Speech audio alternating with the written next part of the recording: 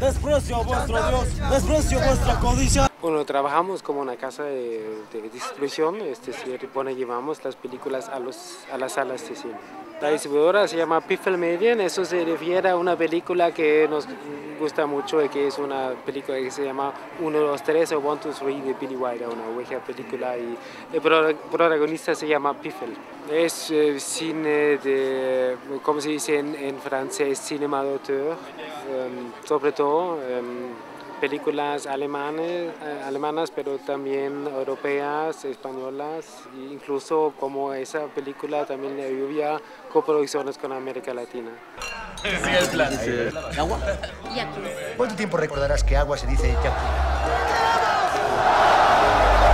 Eso siempre depende, ¿no? Um, tenemos varios pro varios problemas en encontrar el público hoy mismo, sobre todo los jóvenes, para temas políticos sociales. Eso es un poco más complicado que antes, pero sí yo creo que sobre todo con esa película estamos en un buen camino y bueno, yo tengo la impresión y la esperanza, pero también la impresión, la sensación que se mejora un poco la cosa, que hay más interés en, temas, por ejemplo, como el tema de, también la lluvia, de privatización del agua, por ejemplo. A mí me parece que una persona que gana dos dólares al día no puede soportar un incremento en el precio del agua del 300%. Eso es lo que me han dicho a mí, que ustedes les pagan a los extras. Cuando se trata de películas alemanas, normalmente ya nos involucramos em, antes de la producción, es decir, leímos el guion y entonces tenemos que decidir ya antes de la producción. Esa vez tuvimos la gran ventaja de ver la película eh, en la Berlinale, donde ganó el premio del público, entonces para nosotros fue una super ventaja ver una película ya lista, ya hecha y nos encantó muchísimo.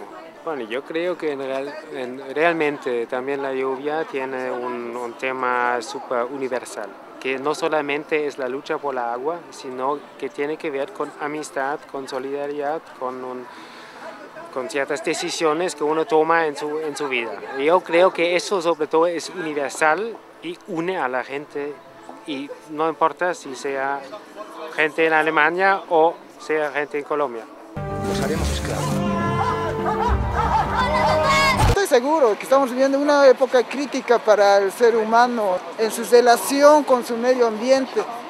Los pueblos milenarios de todas partes del mundo comprendían eso. El Almar, el Almar al, que, al cual yo pertenezco comprendía como muchas otras esta situación. ¿no? Desafortunadamente la mala utilización de las tecnologías, la mala utilización de nuestros recursos económicos y el amor y placer por el dinero han corrompido al ser humano y lo ha, desvirtuado, lo ha separado totalmente de su, de su madre tierra, ¿no? de su Pachamama. Sí, como que mucho, mucho sentido pues no tiene. Mira, no me jodas, aquí se puede negociar con la gente, hoteles, transporte, catering. Entonces la razón es el dinero. Sí, siempre es el dinero, siempre. Y lo vamos a conseguir suicidio, ¿no? Estamos viviendo, estamos cometiendo suicidio.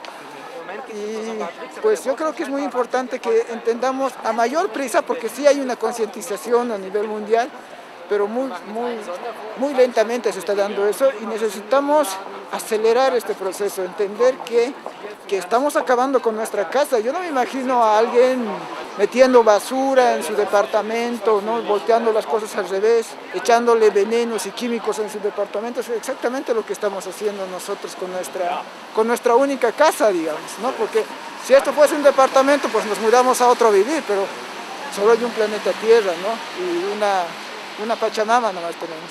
Ok,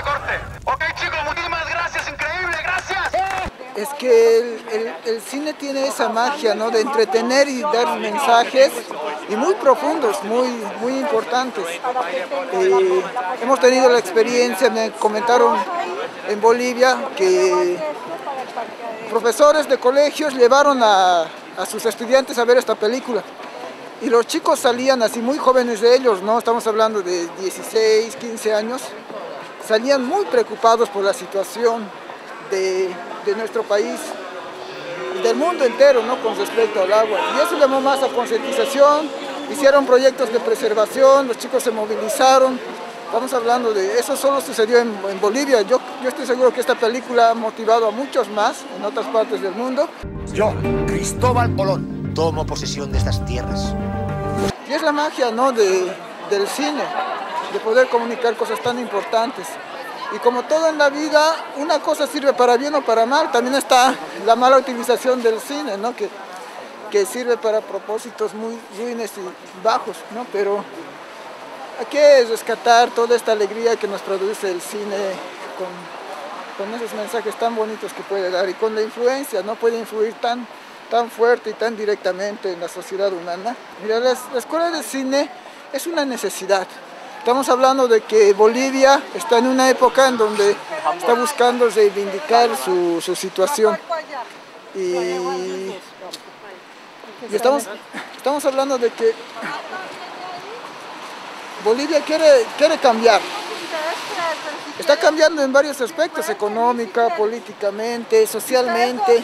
Y en ese cambio yo creo que el cine también está. eh, Durante décadas, solo un sector de, de un pequeño sector boliviano tenía la posibilidad y hasta en ciertos momentos el derecho de filmar, de grabar y hacer películas. Entonces era un pequeño grupo de personas que ponían la cámara viendo a todo el mundo.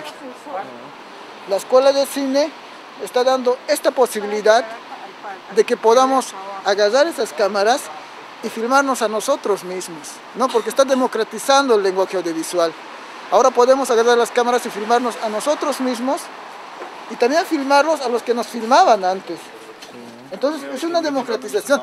El lenguaje audiovisual es muy muy importante en estos tiempos. Ya todo viene en películas. Te puedes comprar clases de una y otra cosa en DVD, aprende a tocar guitarra en DVD, fotografías, cursos de fotografía en DVD. Y, el lenguaje audiovisual es muy muy importante, es necesario.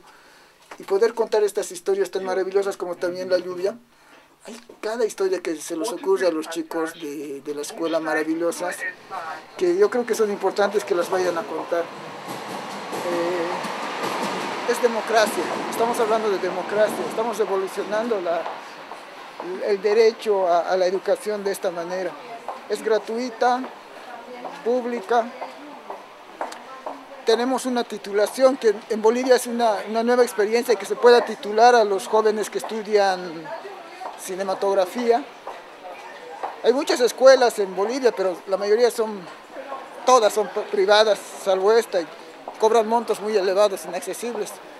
Hay una cholita, una, una señora que viste la, viste la ropa de, de costumbre de allá, pollera, manta, vive en uno de los lugares rurales de, de- La Paz, ¿no?